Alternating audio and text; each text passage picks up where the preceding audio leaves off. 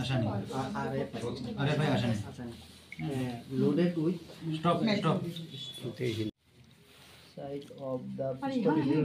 written written in আরে ভারী কাগজে লেখেন আপনি ফাতলা না না না এটা তো হেরা সাইয়া লিখব। সিরিয়ালিস্ট আমি লিখুন হ্যাঁ? পারতো না?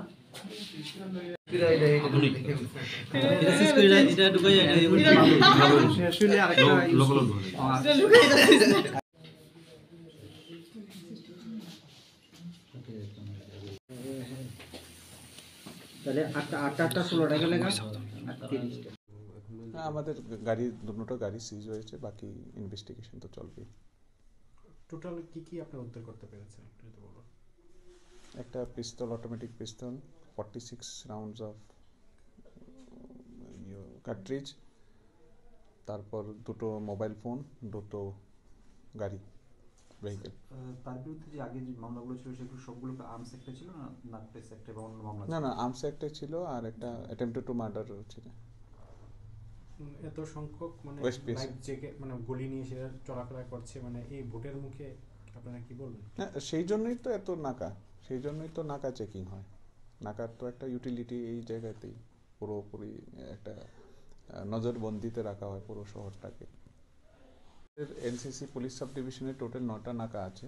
এর মধ্যে আজকে সাতটা নাগাদ আপনার একটা বড় ধরনের একটা অ্যাচিভমেন্ট হয়। সেখানে একজনকে আটক করা হয়। নাম হলো বিমল দাস। ও আগে একটা ওয়েস্ট পিএসের একটা আর্মস কেস কেসেও জড়িত ছিল। অ্যাবসকন্ডিং ছিল এতদিন। ওর পজিশন থেকে একটা automatic pistol along with forty six round দুটো মোবাইল ফোন আর আরেকটা গাড়ি ছিল সেটার মধ্যেও কিছু মিস্টিরিয়াস লোক ছিল তারা পালিয়ে যায়।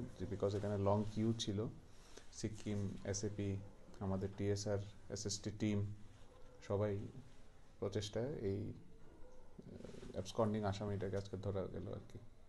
কোথায় হয়েছে? চিনায়ানি নাকা পয়েন্টে। সাব ডিভিশনে টোটাল নটা নাকা আছে।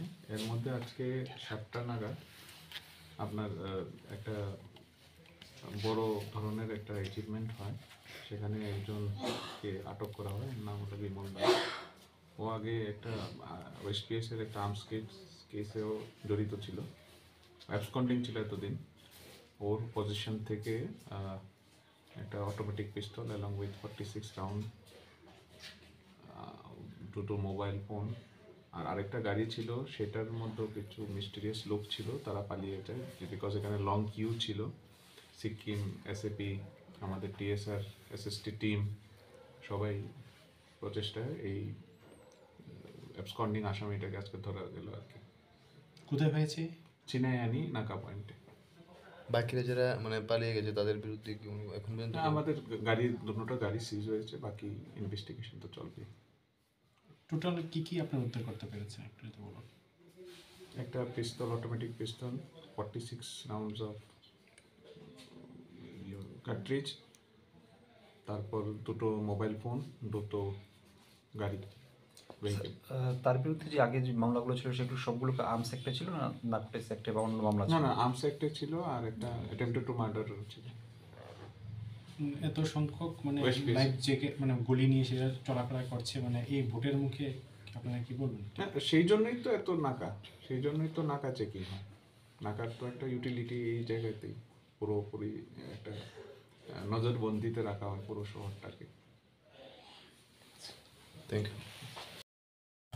আজকে সন্ধ্যা সাতটার সময় আমাদের রেগুলার নাকা চেকিংয়ের সময় উষাবাজার ছিনাইহানিতে আমাদের নাকা চেকিং চলছিল। এয়ারপোর্ট পিএস স্টাফস সিএপিএফ এবং টিএসআর সহ।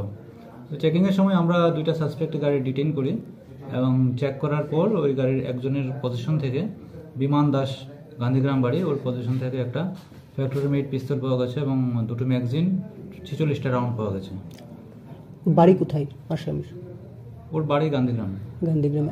পূর্বে কি এয়ারপোর্ট থানায় বা কোনো থানায় ওর নামে কিছু কেস লিপিবদ্ধ ছিল? কয়েক মাস আগে ওয়েস্ট আগরতলা পিএসএ তার আগেনস্টে একটা আর্মস ফ্যাক্টরির কেস ছিল। সে ওই কেস থেকে অ্যাবসকন্ডিং ছিল। আজকে তাকে আবার আরেকটা পিস্তল সহ ডিটেন করা হয়েছে। আর যে গাড়িটা কয়টা গাড়ি বা কি আর আমরা দুইটা গাড়ি সিজ করেছি।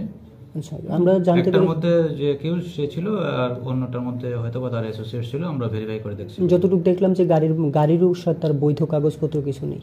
সেটা আমরা ভেরিফাই করছি আমরা এখনও কমপ্লিট করিনি আমরা ইনভেস্টিগেশন শুরু করছি। অসংখ্য ধন্যবাদ স্যার